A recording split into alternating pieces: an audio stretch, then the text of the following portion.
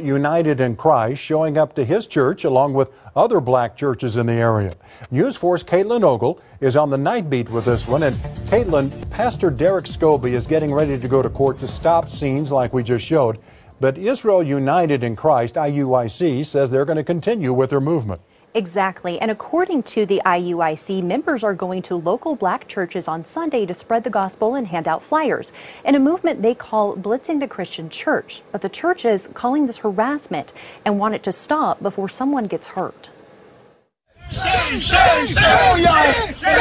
No one should come against any church. It is not right members of Ebenezer Baptist Church walking out to this after Sunday service earlier this month. Members of Israel United in Christ on the sidewalk. Stop this foolishness! The IUIC says it's carrying out the Blitz the Christian Church movement, teaching the gospel and handing out flyers, first focusing on local churches.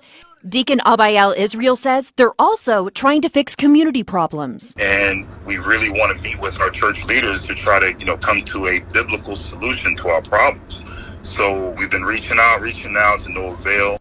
According to their videos on social media, leaders say, quote, the main problem that is facing our people is Christianity. They're charging our people tithe, and they're doing it in the name of God. These are some of the, doc- the, the doctrinal issues that we have with the churches. We want you to stop lying to our people. We want you to stop taking the money of our hard-working, uh, hard-working uh, community Ebenezer senior pastor Derek Scobie says his congregation is terrified. No one should have to experience this type of persecution because of their religious ideologies. And the IUIC is listed as a hate group by the Southern Poverty Law Center. But Deacon Israel telling News 4 in part quote, the Southern Poverty Law Center has been slandering many organizations wrongfully for years. They are not a reliable source to identify hate groups. We do not hate anyone, nor do we condone hatred or racism to any ethnicity.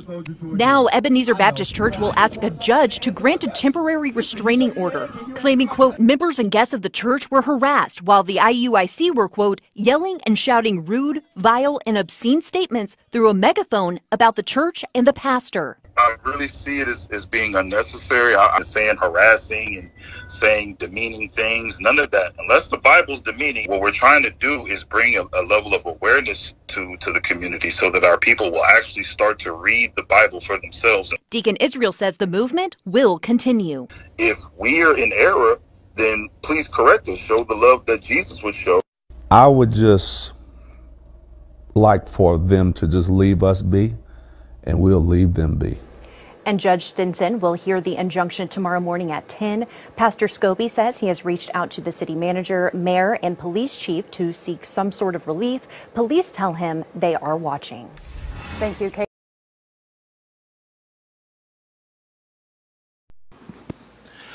IUIC visiting churches. Go not house to house. I want to give all the honor, glory, and praises to Yahweh Shem Yahushai, Ba'ashir Rabachakodash. Double honors to my elders at Great Milestone, taught me this truth through the Spirit.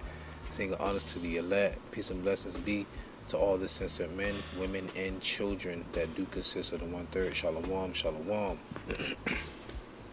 As you saw in the beginning of my video, you saw how IUIC has made the news again to go and um, pretty much admonish, try to admonish these churches and to try to push a certain agenda, which, man, you can look at it so many different ways, but I'm going to go the route of how Yahawashi told us to um, preach the word and how to gather the sheep.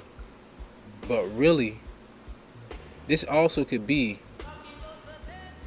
something that's um, been orchestrated by an agent provocateur. This could possibly be a, a stunt to try and keep us all off of the streets, right? To have a famine of the word. And before I proceed, a scripture just came to my mind because it's no different if, if we're on the highways and byways preaching, right? And then the Muslim come out there with a Quran, literally right there, like not even 10 feet from us, and he's just blailing surahs, just surah this, surah that. He out there with his Allah Akbar and all that, you know? That's the same thing.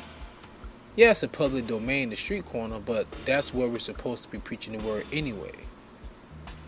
Right?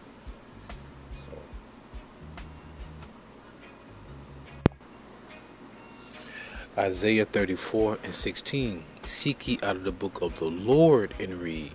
No one of these shall fail, none shall want her mate, for my mouth it have commanded, and his spirit, his spirit it hath gathered them. so the spirit will gather us. Nonetheless, the Lord still have apostles and teachers to to preach and to teach simultaneously. Now, with that being said, what Jehovah wickedness does, that's not what the Lord told us to do. Going house to house, knocking on people's doors. No. All right? Because where is wisdom? Wisdom is not inside these churches. No, it's not. Man, it's, it's, the spirit is real because I had precepts already set up, pre precepts, precepts, and the Lord sending me to other places.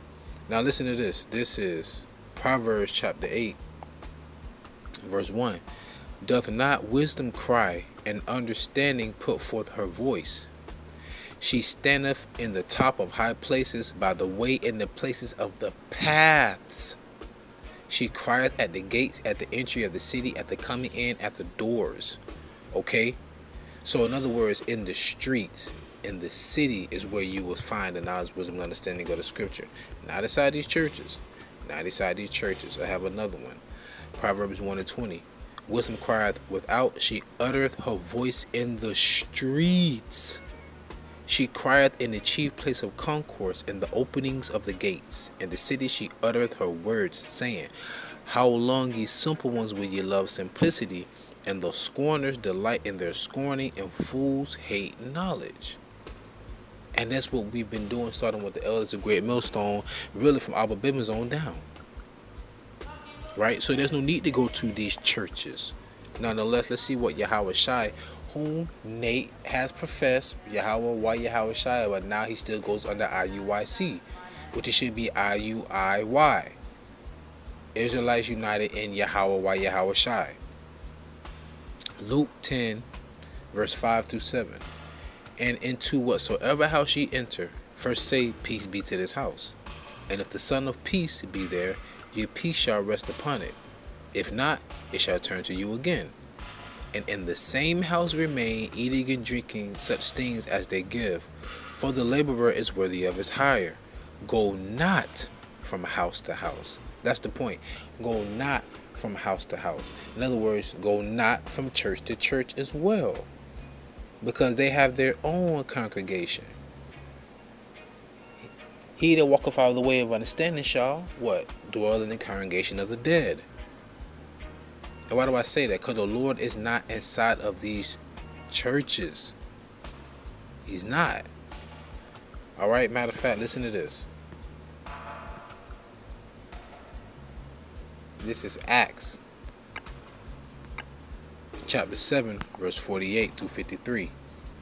Howbeit the Most High dwelleth not in temples made with hands. Let that sink in. So he don't dwell inside those buildings, them churches. Why y'all going there? Why are you going there? Howbeit the Most High dwelleth not in temples made with hands, as saith the prophet. Heaven is my throne, and earth is my footstool. What house will ye build me, saith the Lord, or what is the place of my rest? Hath not my hand made all these things? So the Lord pretty much told you, I don't dwell inside these buildings now. Solomon did make that house a sacrifice to the Lord. He made the house and the altar, the temple, to sacrifice unto the Lord. That's the difference. These places, these harlot houses, the Lord is not there. Okay?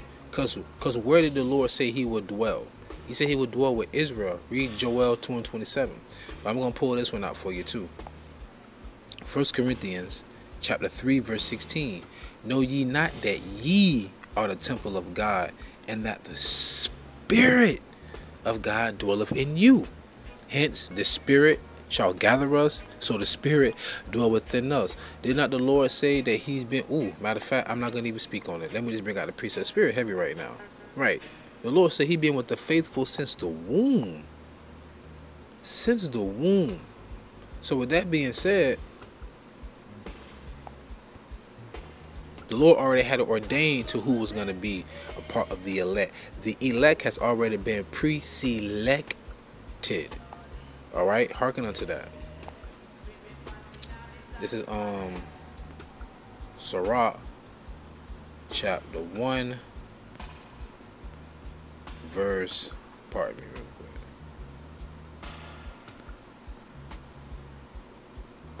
Oh no it's not, hold on. Sirach 1 and 14. The to fear the Lord is the beginning of wisdom, and it was created with the faithful in the womb. So wisdom and faith has always been with the elect since the womb. That's heavy. So the Lord's not in these churches, the Lord dwelling within the elect. Right? Now, continuing back to Acts chapter 7, verse 51 ye stiff-necked and uncircumcised in heart and ears. Ye do ye do always resist the holy spirit. As your fathers did so do ye. Which of the prophets have not your fathers persecuted? And they have slain them which shewed before of the coming of the just one of whom ye have been now the betrayers and murderers exactly who received the law by the disposition of angels and have not kept it. And Stephen said this after Yahushua was transliterated up into the heavens. After Yahushua was taken in Acts the first chapter. So they were still talking about the law, which is relevant. Okay? Now, with that being said, let's go to John 10 and 25 through 27. Yahushua answered them, I told you, and ye believe not. The works that I do in my Father's name, they bear witness of me. But ye believe not, because ye are not of my sheep, as I have said unto you. My sheep hear my voice, and I know them, and they follow me. And they follow me. So the sheep know the shepherd. And why? Because we, we believe. We believe. I have another one. And another one. Spirit is riding right now. Isaiah 30 and, and 20. And though the Lord give you the bread of adversity and the water of affliction, those are the curses we're under, ye shall not, yet shall not thy teachers be removed into a corner any more. But thine eyes shall see thy teachers. And guess what? IUIC has a 501c3 charter. So in other words, they have a gag order. They can't preach the whole truth. Because Nate had an unction to know all things. The Lord started taking that oil from him because he took that bad. Yeah. So continuing on, verse 21 And thine ears shall hear a word behind thee, saying, This is the way. Walk ye in it when you turn to the right hand and when you turn to the left. How can you hear that voice if you're inside of a building with four walls, a, a roof, and a door shut? Wait till the Lord said, Cry aloud, spare not, lift up thy voice like a trumpet, and show my people Israel their transgressions. Doi. Matthew 22, verse 9 through 14. Go ye therefore into the highways, not to the churches, into the highways, and as many as ye shall find, bid to the marriage. So those serpents went out into the highways and gathered together all as many as they found, both bad and good, and the wedding was furnished with guests. And when the king came in to see came in to see the guests, he saw there a man which had not on a wedding garment. And he saith unto him, Friend, how camest thou in hither not having a wedding garment? and he was speechless. Then said the king to the servants, Bind him hand and foot, and take him away, and cast him into outer darkness. There shall be weeping and gnashing of teeth, for many are called, but few are chosen. So, with that being said, the Lord said, Go ye therefore into the highways, and as many as you find bid to the marriage. Not go ye therefore to house to house or to church to church and find out who will bid you to the marriage. The sheep gonna hear his voice. The Lord's Spirit is going to gather us and is going to guide us. Like I say, when Jacob's trouble really starts to flourish, I want the Spirit to put me into autopilot. Because the Lord, you brought me to the flock. Can you please, Baba Kashai, can you please lead the elect flock to the spaceships. So with that being said, or should I say the chariot of God, Yahweh. I pray you edified and fed. Stay in the spirit. Don't fear it. Just endure it. Ask for forgiveness. Pray without ceasing. Stay humble. Remain diligent. Kwamesha Allah. Mufta Babal. Shalom.